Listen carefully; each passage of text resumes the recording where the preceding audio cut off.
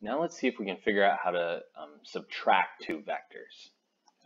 So I'm going to actually sketch in the vector u here again, or hopefully something that looks pretty close to it.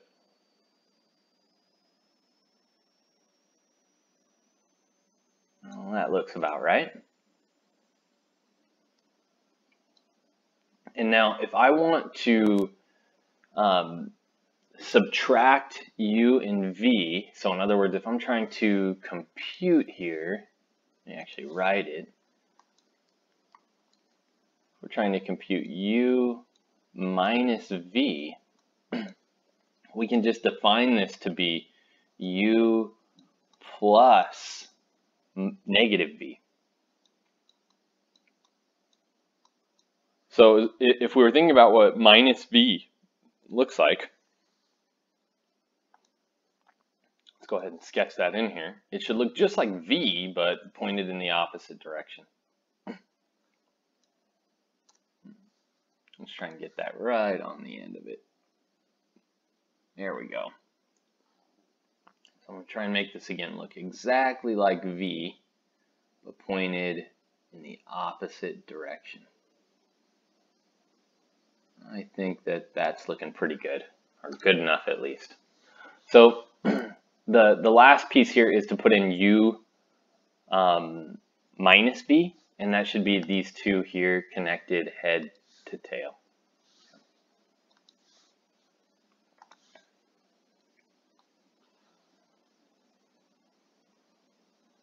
All right, and let's just go in and label all this stuff. So this here was u, and this was minus v, and again we added them head to tail, and the resultant of adding these two head to tail is the vector u minus v. So moving forward is what our goal is, is to find a, a different way to think about these vectors. So right now, we're, we're thinking about them only geometrically. Okay, um, But is there maybe another way we can represent these vectors? And so that's what this next part's going to be about. There we go. So a blank is a vector of length 1. Okay? And so just like our unit circle being radius 1, a unit vector will just be a vector of length 1. So I'm going to write that in here, a unit vector.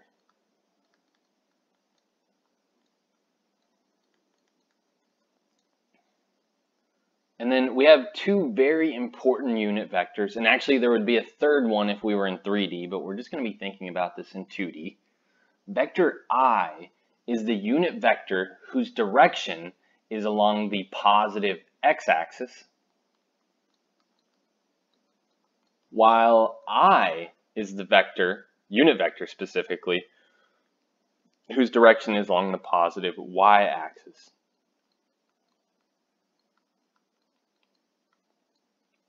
And let's make a little sketch of this, see, see what this looks like. So if we were to maybe just start off with our axes, let's do that.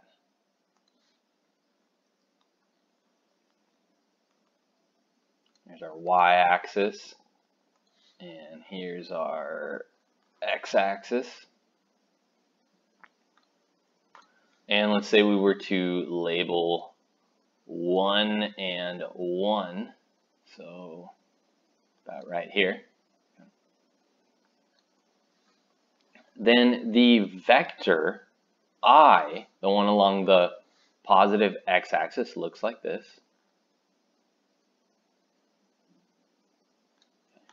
So again, that there is our vector i. And remember in boldface, right, or uh, when you're writing i in print, because it's a vector, it needs to be in boldface. But by hand, right, we'd write i, and then actually because this is a special vector, we're not going to write this above it, like we were doing with the other ones. We're actually going to give it a hat. This is going to be i hat. And one more here. And the vector j, this is the one that runs along the positive y-axis or runs in the direction of the positive y-axis and it is notated j hat. Okay. And that's all this next thing here is telling us is, you know, we write these um, boldface in, in text, but when we are writing by hand, this is again I hat and J hat. Now you might be wondering why on earth are these two vectors important? And there's a good reason for it. Let's find out what it is. Okay, and we're going to make another sketch. We're going to draw in a set of axes here again.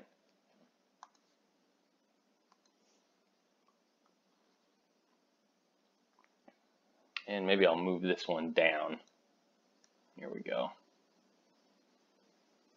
That looks like a good spot. And we'll put in our y-axis as well. There we go. And let's put in a point here, a comma b.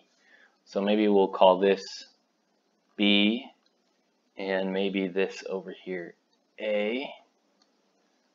And so this point that I'm talking about would be right here, a comma b. And is what I'd like us to do is think about the vector that starts at the origin. Let me actually sketch that in here. Vector starts at the origin and it ends, let me make a better sketch of it though. I want it to end at the point AB.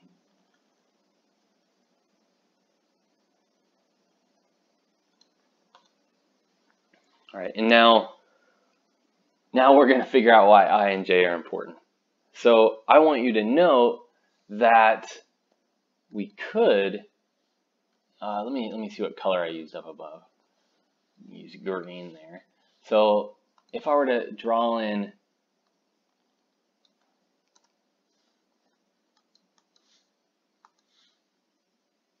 this vector here that goes from the origin to A, and let me see if I can get this, eh, get OneNote to behave here. There we go. So we're to take this, this green vector here and add, let me see what color I used up above for J. Use this purple color.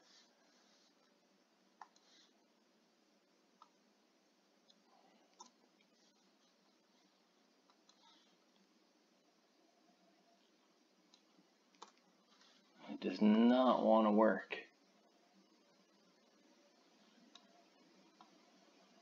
There we go.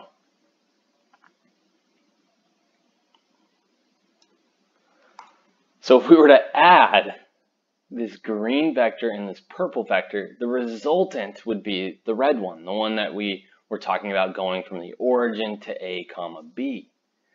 Well, it ends up that these two vectors that I just sketched in here have really simple representations if we're thinking about I and J.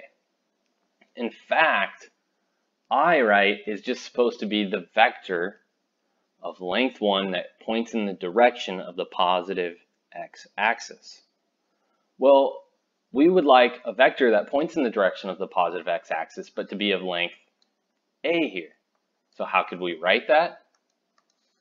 Well, that is equivalent to a times the vector i. That would give us this green vector here.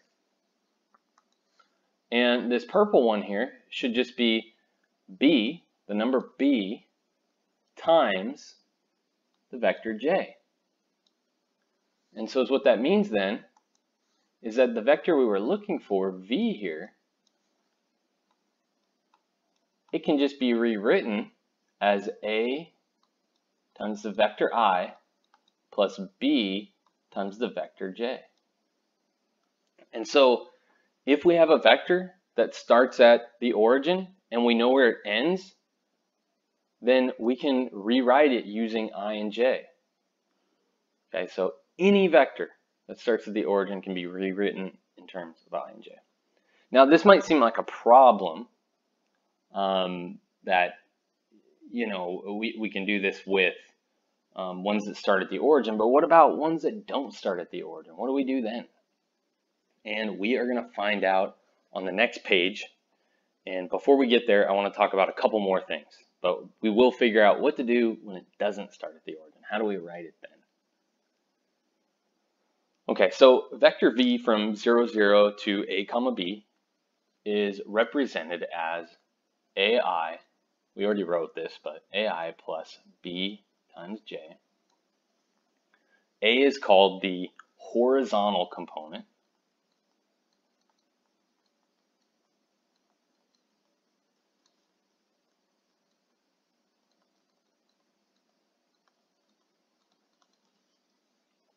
And B is called the, the vertical component.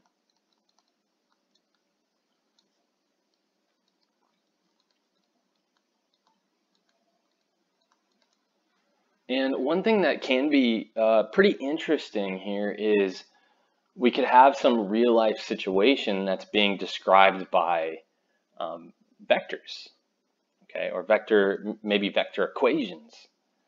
And we sometimes can solve that problem by just looking at a single component of our vectors. So if, if we were maybe talking about some sort of um, object that's moving, you know, up or down, let's say, but it's also moving left and right, we might be able to solve some problems by just looking at that vertical component. We may not even have to worry about the horizontal or vice versa. Um, and that's why we, we're giving names to these things because we will refer to them quite a bit. And sometimes we'll just look at one. But next here, uh, we have the magnitude of V. And notice all we have here with V is we really have a triangle with base A and height B. So we just use our Pythagorean theorem to get the, the length of the vector V. And this is just going to look like the square root of A squared plus B squared. So it ends up, if we write our vectors in terms of i and j, we can find their magnitude really easy. And it'll also end up, we can find what direction they're headed very easily as well if they're written in terms of I and J. And if they're not written in terms of I and J, we're going to see, well, it's really easy to write them in terms of I and J. Example 2, sketch the vector 2i minus 5j and find its magnitude. This is as easy as it sounds. We want to sketch a vector that starts at the origin and ends at 2 comma minus 5. So go over 2 and down 5. So 2, 3, 4, 5. There we go. And I am just going to connect those two points with a vector. Maybe. Let's try that one more time. There we go.